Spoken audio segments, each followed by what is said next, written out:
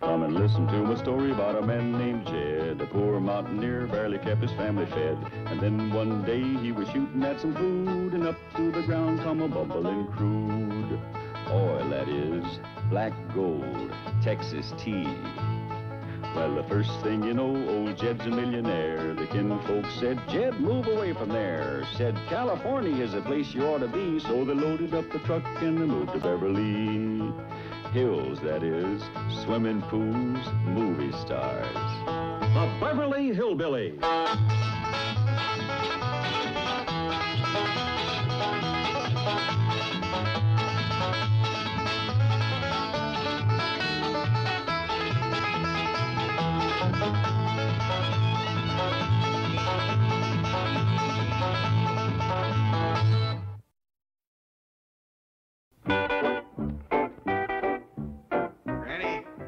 Ellie, Jethro.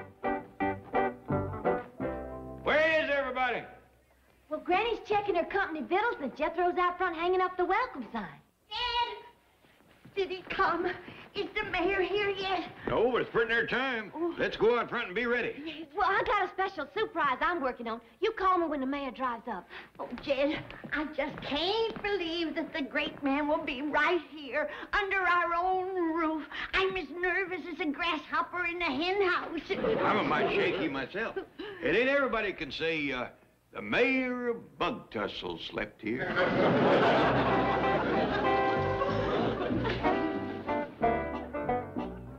Come on out where you can see the banner I made. It's dandy. What this here? I did. You said we ought to roll out the red carpet for the mayor. Where'd you get it? I ripped it out of the upstairs hallway. Why, that? Boy meant well. Looky, yonder's my banner. Welcome, Hog. Yeah, that's his name, Mayor Hogg. It's spelled with two G's. The most honored name in the hills. Okay, I'll change it. Maybe it'd read better if you put mayor in front of Hog. All right, I'll get right at it. Oh, there ain't time. He's turning in the gate. I sure would hate for him to see that sign. I got another one that's a special welcome from me. If I wave it, maybe he won't notice the big one. That one needs fixing, too. It reads like you're welcoming yourself.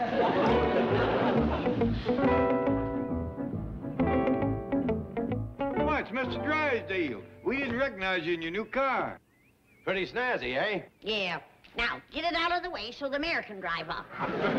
Miss Holloway, move the car. Right, Chief. I'm here to welcome your distinguished guest, the mayor of Bugquist. Uh, Bug Tussle. yes, of course, and I'm greatly honored. You bet you are. You're going to be shaking hands with the greatest hog in the hills. Mr. Clampett, tell me more about this mayor. Hug? Amos Wentworth Hogg, a born leader of men. Greatest speechmaker you ever did hear. Oh, he's a spellbinder. When he gets through talking, you just beg to have your taxes raised. Never lost an election. Won Won 'em all by a landslide. And he's a personal friend of yours, eh? Well, no, uh, we couldn't claim that. I met him at a Women for Hog rally. I shook hands with him a couple of times after speeches, but uh, it'd be bragging to say we was personal friends. Hey, everybody, it's the mayor. I see him a-coming. Ellie Mae! Come on down, boy. Does he have a motorcycle escort? Wouldn't be surprised. He's an important man. He's coming in the gate. That's the Bug Tussle official car.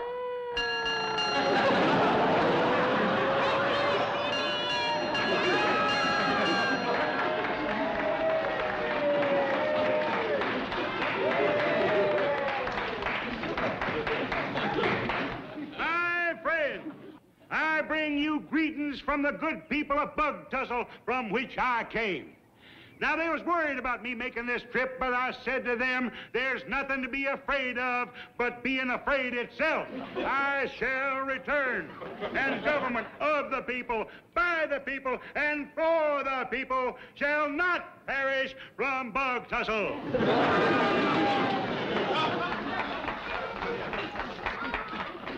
That man sure does things with words, don't he? Yes, he steals them. Mayor, Your Honor, sir, I hope you remember Jed Clampett. Of course I do. good to see you again, Mr. Clampett. Now, I'm, I'm Milburn Drysdale. This is Mr. Clamp. Uh, you see, the mayor never seen much of me. I reckon it's Granny he remembers. That's right. Good to see you, Granny. No, no, no. I, I, I'm Jane Hathaway. That's Granny. nice to see you. A great man like him meets so many important people, you can't expect him to remember a bunch of sorghum lappers like us. Uh, Mr. Mayor, Your Honor, sir, uh, can I have the privilege of toting your bag upstairs? Why, of course you can. By the way, you won't have to vote? Pardon here. Fine lad, and a credit to your upbringing. I once said in a speech, as the twig is bent, so is the tree in inclined. Honor, you do have a silver tongue. Now, if you lead the way, we'll all sit down to victuals at the fancy eating table. Oh, well, well, let me go in first so as I can get my special surprise ready. You'll stay to victuals. Oh, of course. It's not every day you can sit at the table with a hog. Get it? Amos Hog. A hog. Mr. Drysdale, um, I think I'd best warn you.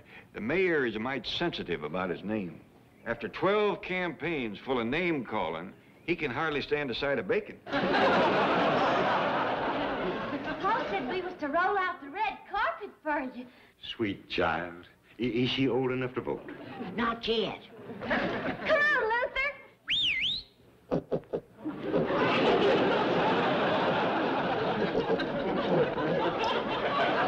Ellie Clampett, you know I can't abide no hog in my house.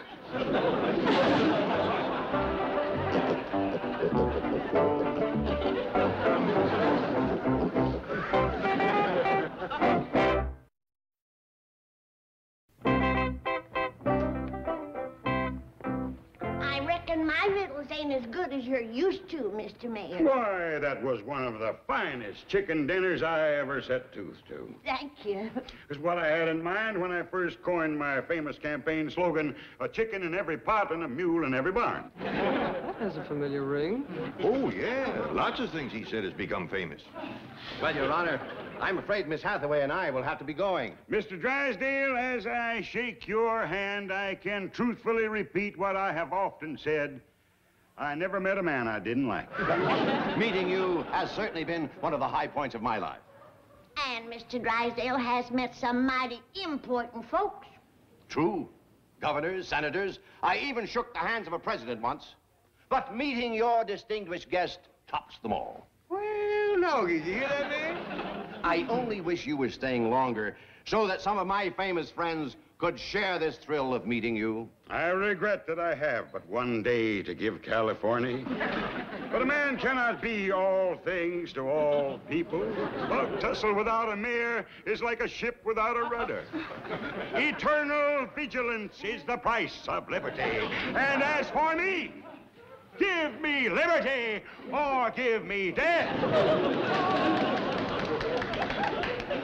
Words like that ought to be wrote down and saved.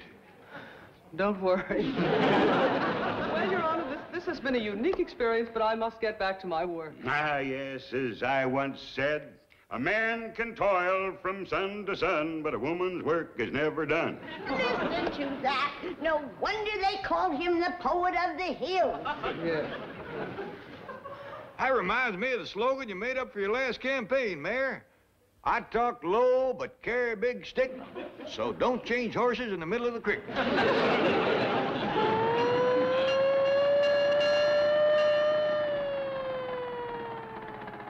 Here, here, here. What are you young'uns doing with the mayor's official car? Well, he told us we could drive it, Granny. Yeah, said we could take it down to the gas station and fill her up. Sure was fun. Oh, that Mayor Hogg, always thinking of others. With that one little act of kindness, he filled their hearts with joy. And his tank with gas. Great man, Granny, great man. I sure hope I can be a mayor like him someday. A worthy ambition, my boy. Mayor Hogg is a born leader. Come on, Granny. Hop aboard. Do you think the mayor would mind? A man who cares about nothing but others? Why, he'd be delighted. Oh, my.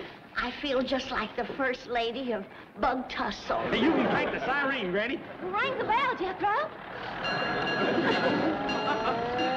Really, Chief? it is bad enough to let the Clampetts be deluded by that, that phrase-stealing phony, but to encourage Jethro to emulate him, to make him a hero. Now listen, I believe in telling people what they want to hear. And Jed Clampett wants to hear that Hogg is a hero.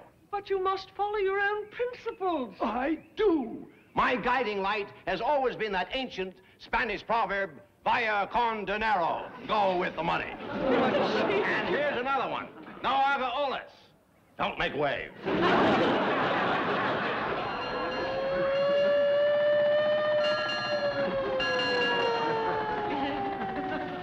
All right, you young'uns wait here. We'll be back quick as we give Mrs. Drysdale the good news.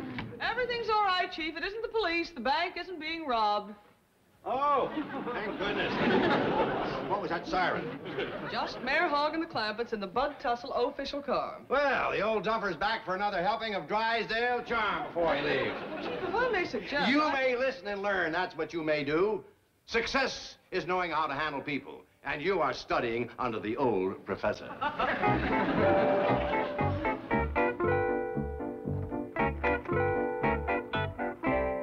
yes, tell the senator we'll all get together on the mayor's next trip out. Yes, I'm sorry, too. Goodbye, Governor. oh, Mayor Hogg, I was just giving the governor the bad news that you have to return to Bug Tussle without seeing him. Well, call him right back and give him some good news. We just talked the mayor into staying on. you did? Yeah? Now you can do all them things you talked about at the dinner table. Having a party with the movie stars and them political bigwigs. Giving them the key to the city? A parade down Wilshire Boulevard. Putting them on the TV? Now, now, now, I'm just a simple man, man of the people. Just a little get-together with the governor, a few mayors and senators, and some movie stars, plenty for me. Ain't that just like a great man? Yes. I wonder if I might speak to the great man alone. Sure thing.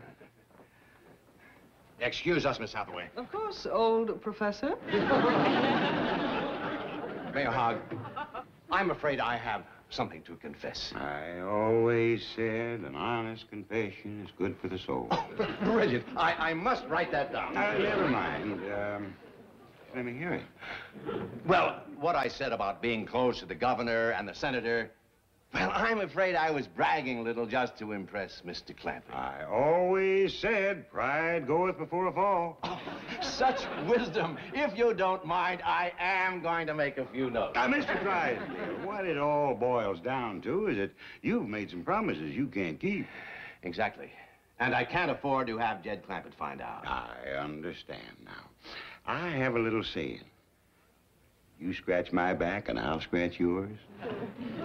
It's a deal. Where's your itch? In the pocketbook. It seems that Bug Tussle's in a little financial difficulty. Oh? Just this past Monday, it come to light that five high-placed officials was guilty of mismanaging funds.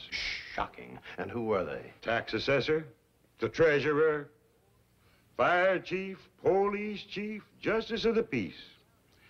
The purpose of my coming out here was to raise money to cover those mistakes and uh, avoid a, a public scandal.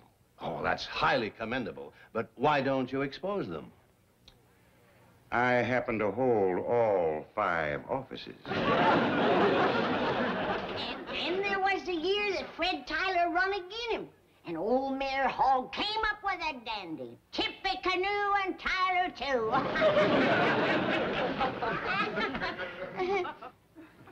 Say, Jed, did anyone ever figure out what that meant? Oh, but it sure caught on. Had a dandy ring to it. And then there was the year... Granny, we could go on forever about the mayor, but we've bent Miss Jane's ear long enough. Well, the things that man said would fill a book. True. and I think he's got it. That's what everybody says. Amos Hogg has got it. I've tried to ask Mr. Clampett for the money, but I just can't bring myself to do it. How much money are we talking about? You see, to them, I've always been a hero. How much? A knight in shining armor. How much? About a hundred thousand. You'll be a knight in rusty armor before you get a hundred thousand out of me. You could call it a campaign contribution. Forget it. I'm a shoe-in winner with my new idea. I'm declaring war on poverty. Goodbye, Your Honor.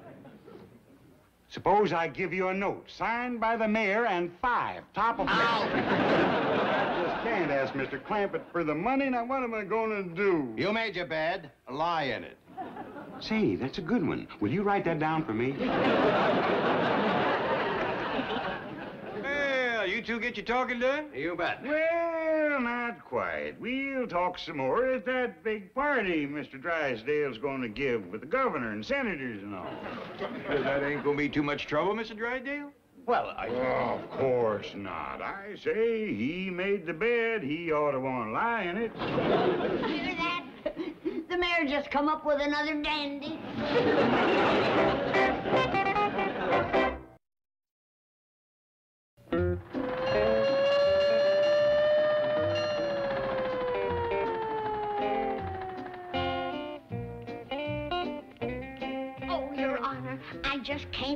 What a thrill it was a sitting up there beside you on your official car. Granny says it makes her feel like the first lady of Bug Tussle. Look at me. You'll embarrass your granny and the mayor, too. You dumb old girl. Uh, Mr. Mayor, how about you and me going inside and having some cold hog jows? I'm sorry, Your Honor. To err is human. To forgive, divine. Did you hear that, Jed? Beautiful. Just beautiful. You're a great man, Your Honor. Please, call me Amos. Oh, Your Honor. I, mean Amos. Uh, come on inside and I'll light the fire in the parlor. I'll come in just as soon as I have a talk with Mr. Clampett. You want to talk with me, uh, Mr. Mayor, Your Honor, sir? No, please, let's just make it Amos and Judd. Jed. Sit down.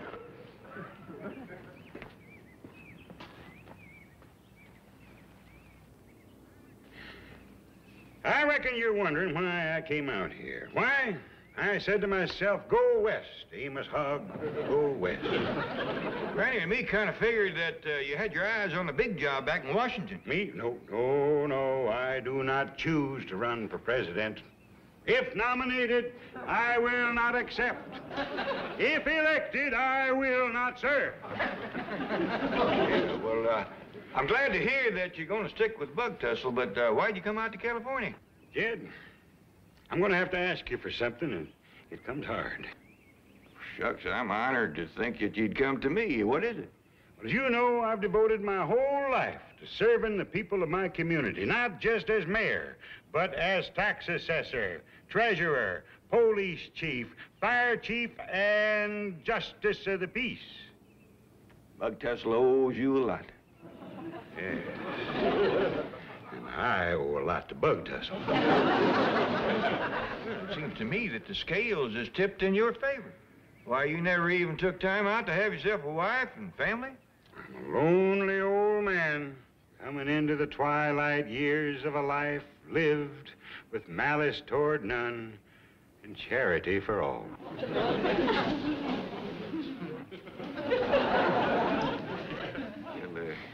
just tell me what I can do. Ted, I've carried the burden alone as long as I can. Now, I need a helping hand. I need. I need. Hey, y'all come on in. Granny says she ain't gonna serve victuals till the mayor sits in front of the fireplace and has a glass of her elderberry wine. Well, you tell Granny we'll be in directly. The mayor just on the edge of asking me something. Oh, all right, go ahead. Perhaps a drop of Granny's elderberry wine will give me the courage I need. These are times to try men's souls. Hot dog! Let's see. On your cul de Sacramento. I have City Hall on. Hello, Mayor. This is Milburn Drysdale, president of the Commerce Bank of Beverly Hills. Yes, look, we have a visiting dignitary in town, and he's mayor of one of our Midwestern cities. Now, I was wondering if you could present him with the keys to the. No, no, no, not, Chicago. Well, if you could present him with the keys to the city. No, no, not Kansas City. No, no, not St. Louis. Well, it's called Bug Tussle. Yes, and it's a nice. Hello, hello. Hello, hello. Where does he get off? Chief, the mayor of Los Angeles is a busy man. That was a mayor of Poison Well, Nevada. I've run out of California cities. We're not having much luck with the governor either. Have you reminded his office of my campaign contribution? Yes, they thought the 25 cents was for a bumper sticker. See, maybe they haven't heard the election results back in Bug Tussle. See if you can get me the loser. Send him a quarter, too. Can Ellie and me go for a ride on the fire engine now? Yeah. I want Ellie to finish clearing the table. Jethro, you keep the mayor company. And listen to him while he's talking. You might learn something. The greatest. Them things that he said about his war on poverty. He was going to make sure that every man got more than $50 a year. And he just made up a brand new slogan. 5440 of fire. I wish this would have happened when I was a young widder. I might have had a chance of being the first lady of Bug Tussle. Granny, this may be telling tales out of school, but uh, wasn't politics that brought the mayor out here. What you mean? He just tried to ask me something, and he couldn't find the words. Amos Hogg? Tongue-tied as a lovesick schoolboy. Lovesick? Jed, you don't mean I sure do. you're greening me. He done everything but come right out and ask for your hand. Oh! Oh! Are you all right? It's the dream of every woman in the hills to be the first lady of Bug Tussle. Living in the big white cabin at the end of Main Street, having my own official mule. Getting free passes to the Bijou Theater. Being the official hostess for the Possum Day celebration. Getting the first pick of anything at the general store. There's a lot of honors going with being Mrs. Hogg. Mrs. Hogg. Mrs. A. Hogg. Daisy Hogg. Granny Hogg. Mayor and Lady Hogg. How many free passes would I get at the Bijou? We could buy two or three fire trucks if Granny was first lady. Hook and ladder, pumper, big red convertible for the fire chief. That'd be me. Mayor Hogg? Hey, Mayor Hogg. I say we could have a real fire department with Granny's money. Money? Granny has money? Well, yeah. Uh, Not as much as Uncle Jed, but it comes to better than 15 million. Dollars? Well, heck yeah. And it'd all be yours if you marry her. Marry her? Uh, how, how- how much you Uh, say? 15 million. 15 million? Well, why, with that kind of money, I could build a whole new town. Hog City. Can I be fire chief? Oh, Mayor, about that talk we was having, maybe if you spoke to Granny, uh, I was on my way to the kitchen for that very purpose. Oh, Amos. let's go, Jethro. But Uncle Jed, I want to listen and see if I'm gonna be fire chief. But Uncle Jed. Sit down, Granny.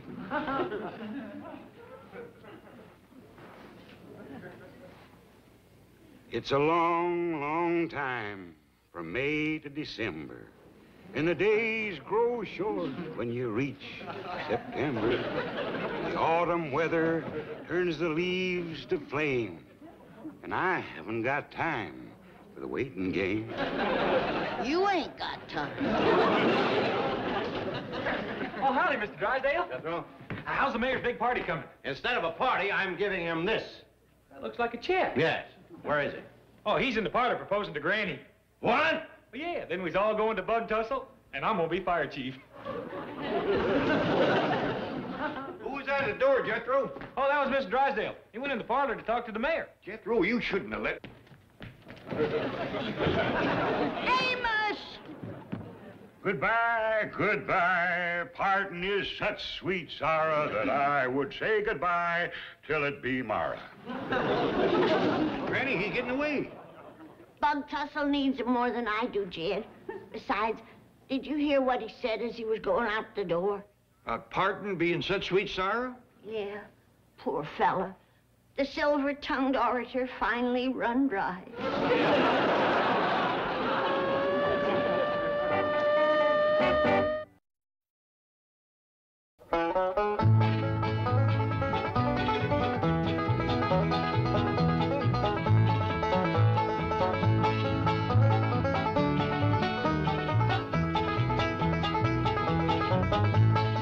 Now it's time to say goodbye to Jed and all his kin. They would like to thank you folks for kindly dropping in. You're all invited back next week to this locality to have a heaping helping of their hospitality. Hillbilly, that is. Set a spell. Take your shoes off. Y'all come back now. Here? This has been a Filmways presentation.